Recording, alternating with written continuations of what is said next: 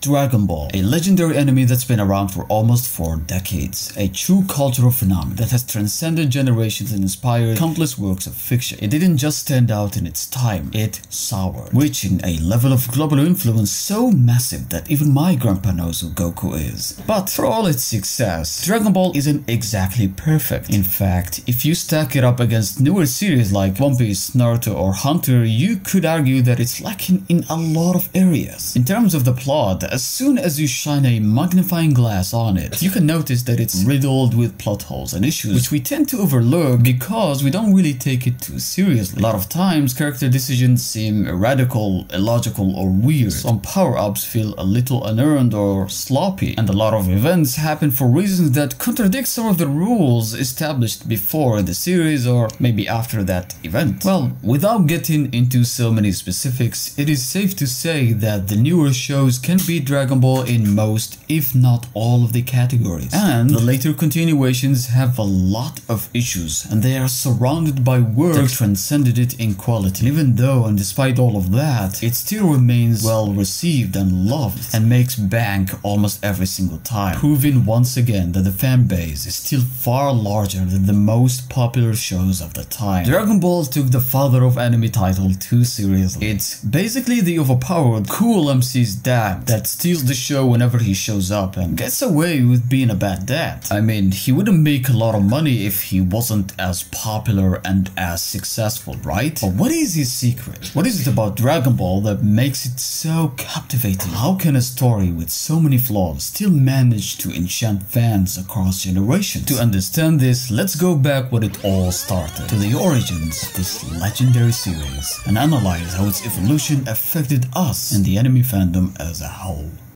Dragon Ball started off as a manga in 1985, written and illustrated by Akira Toriyama, following a kid named Goku on his journey to find his grandpa's shiny big balls, which were rumored to grant you a wish if gathered all together. In its early phases, Dragon Ball was more light-hearted and comedic, with Goku being something of a gag character, like an early Saitama, and it was meant to be a short story ending when the Dragon Balls are found. But after Dragon Ball gained traction and popularity in Japan, Toriyama shifted the story from a playful adventure to a more intense fight-driven series. And this evolution would transform not only Dragon Ball but the entire shonen genre, as it is the first of its kind to mix humor with action. The manga's rising popularity helped break records and set a standard for future series like Naruto and One Piece. Many see Dragon Ball as a driving force behind manga's rise in popularity, reaching new cultural significance in Japan and eventually paving the way for anime's global reach. Toei Animation noticed the potential of Dragon Ball early on and launched an anime adaptation in 1986. The adaptation helped the manga gain more sales and the manga helped spread word about the show. After the first part ended, Goku was already the strongest on earth. He got married to Chi-Chi, defeated King Piccolo, the biggest threat in the story, and it could have ended there. Toei and Shonen Jump both wanted more, seeing it as a cash grab, so they asked Toriyama to extend the series once more, and he once again made an outstanding decision, because what he wrote next turned out to be the best part in all of Dragon Ball, Dragon Ball Z. Ah yes, everyone's favorite. This is the part that launched Dragon Ball from Japan to the international level. Dragon Ball introduced concepts and ideas that can be seen as alien to many adventure type shows of the time. The battles reached power levels unseen before in all of fiction, with fights that literally threaten to destroy planets and solar systems. If we look back, Dragon Ball Z was so damn absurd and bizarre. The first part was weird already. You know, talking animals, humans with eyes on their forehead, shiny balls that if gathered together would summon a dragon that can make your wishes come true, the god of earth living in the clouds. This cat is probably stronger than most of the martial artists on earth, but even with all of that, it hasn't reached a level of weirdness that sets it apart from other works. Dragon Ball Z takes it to the next level. Toriyama's idea to extend the show was to give a little more context to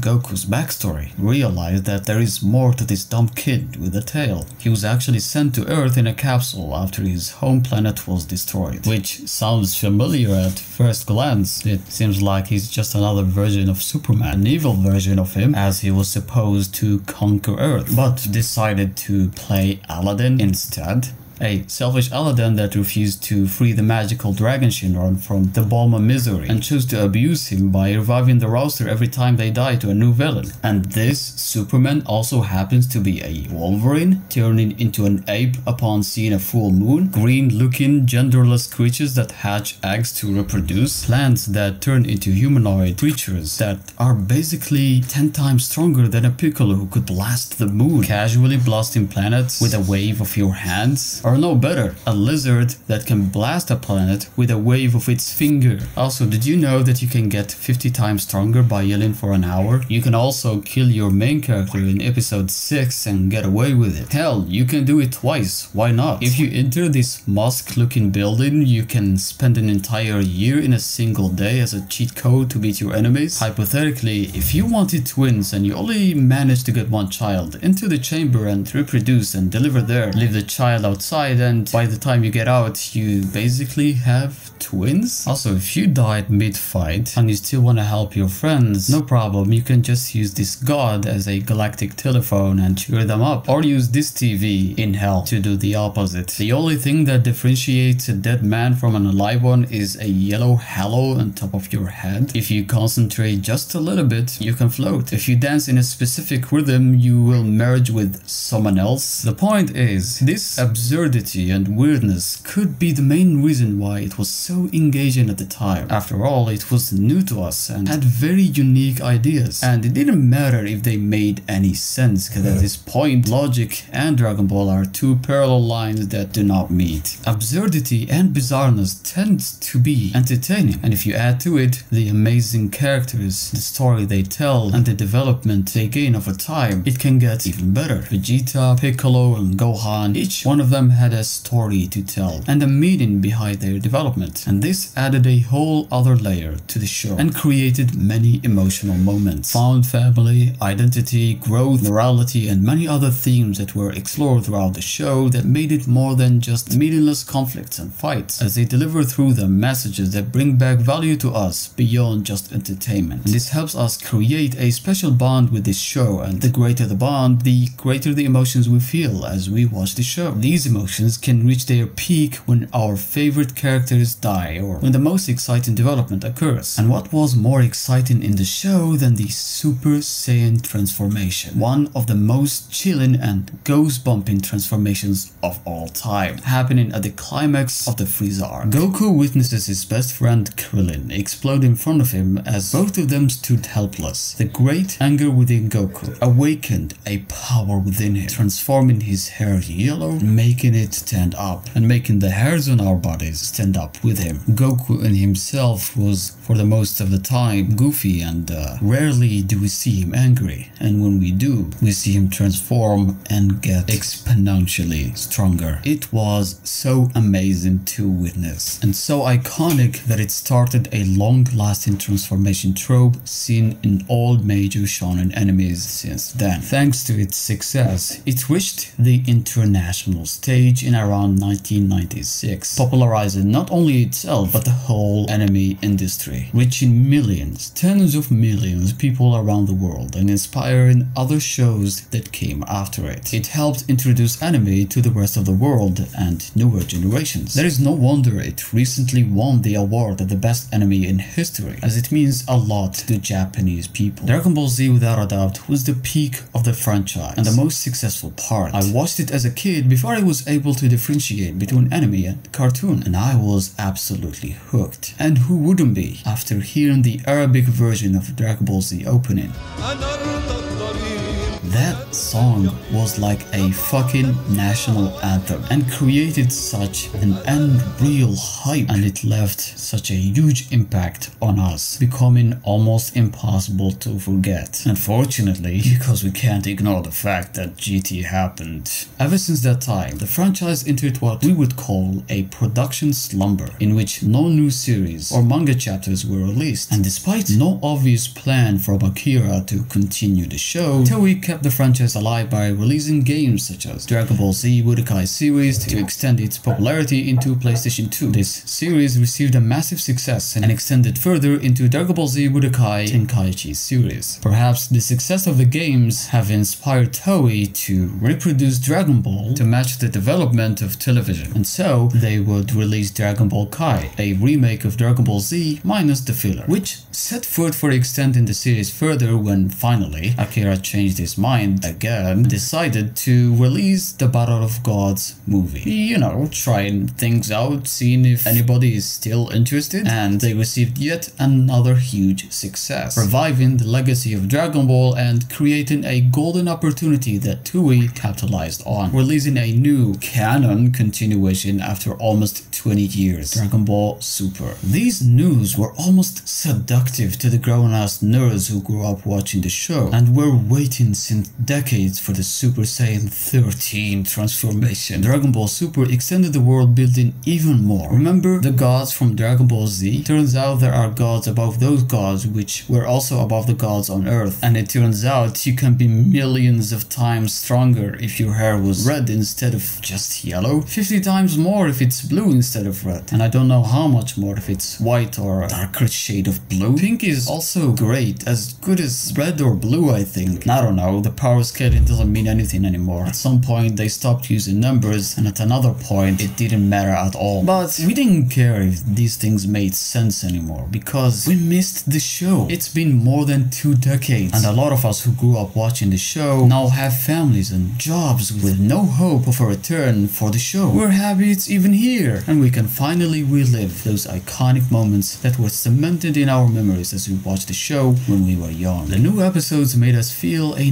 nostalgic feeling and oh, Toei played mainly on that, bringing back to the spotlight Roshi, Tien, Krillin, 17, 18, Frieza and Piccolo. Sometimes they would make Gohan and Piccolo train together, Goku and Krillin training under Roshi once more. Toei knew what they were doing and they had to. After all, Dragon Ball is now competing with other fascinating shonen series and it has more competition than ever. It fell behind for the most part, especially after Resurrection Fail arc. But once the Tournament of Power arrived, Dragon Ball once again managed to do what no other anime did before it. After countless transformations, Goku broke his limitations as well as the entire internet with his Ultra Instinct transformation and with a concept different than merely multiplying your power. Goku has acquired the ability to instantly dodge or attack, which with the music looked so freaking cool. The Ultra Instinct kicks in when you are in your worst shape, so it comes to save you in the last moment. The trigger was no longer just training or getting angry, and this was unheard of in the world of Dragon Ball. The stakes are much higher than they ever were. The entire universe at stake. And no one could predict what could happen. Dragon Ball Super had a unique situation with no manga or novel to peek into to know what would happen next, relying only on the few Twitter leaks and the frames of dialogue lines an hour prior to the show airing. Some people would rush to watch the show without translation out of excitement, just to know what would happen next. In that tournament arc, each beloved character was given his chance to shine again, and we couldn't help but appreciate it, grouping all the mighty warriors of Universe 7, including those who were previously antagonists. Even Frieza, the fact that they were once enemies and now they are all fighting together against a giant threat and seemingly impossible odds, played again on nostalgia. Using the villain redeeming strategy was probably Dragon Best method. And that's because we once had our most focus on these antagonists and they were hyped up so much before. At their peak, they might have been someone's favorite character or favorite period of the show, which is why seeing them shine again brings us so much joy. This strategy works is because it carries with it a message in its core. Even those who have made horrible mistakes, if given a second chance, can turn for the better, which instills hope in our hearts that we could do better and become better people. And the endless power-ups tell us that no matter how good we do, we still have an infinite potential within us, and we can always do more. One of the biggest reasons Dragon Ball Super was so successful is because the powerful sense of nostalgia it brought to the fans, reviving the memories we once had as we watched Goku's adventures after we came back from school. Dragon Ball made us feel so many strong emotions as we were kids, helping us create a bond so strong that would help us forgive the series when it doesn't quite hit the mark. We would overlook its flaws like forgiving a sibling for their mistakes, because we love it not for what it delivers for us right now, but for what it means for us. A part of Dragon Ball's charm is its simplicity. It's mostly straightforward, rarely bogged down by complicated plots or deep philosophical themes. The Goku Black arc is about as close as the series gets to a complex storyline. Even that one keeps it relatively accessible. Most arcs center around one or two incredibly strong enemies, setting up a familiar pattern. The Z fighters struggle, the villain appears unbeatable, and Goku, often mysteriously absent until the last possible moment, returns to take on the challenge. This simple structure makes it easy to follow and endlessly entertaining as it avoids repetition in a clever way, as Goku is absent for different reasons every single time, allowing the viewers to get swept up in the thrill without getting lost. Thanks to the show being simple, you can just turn off your brain and watch. You don't gotta concentrate like you do while watching Death Note. There is nothing to worry about. If anyone dies, there is a Dragon Balls or Namek Dragon Balls or whatever planet they gotta come up with next time. Each time the enemy is a gazillion times stronger than Goku, we get this underdog feeling at the moment as he arrives, and it works every single time. It's either the fact that Goku doesn't know the level of the threat and we're excited to see him lose, or that the antagonist doesn't know how strong Goku is and we're excited to see him surprised. And